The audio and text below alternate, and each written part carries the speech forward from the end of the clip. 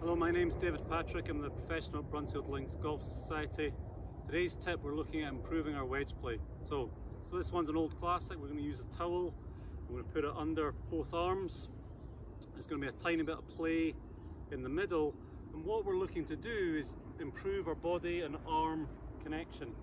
If I do that, I'll improve how well I rotate and I'll improve how crisp my strike is, which will then give me better control of the distance and better control the spin. So let's give it a go. So just kind of normal kind of wedge setup, weight just slightly forward, connect the body and the arms nicely, and we get some really nice low spinny wedge shots. Hope that helps.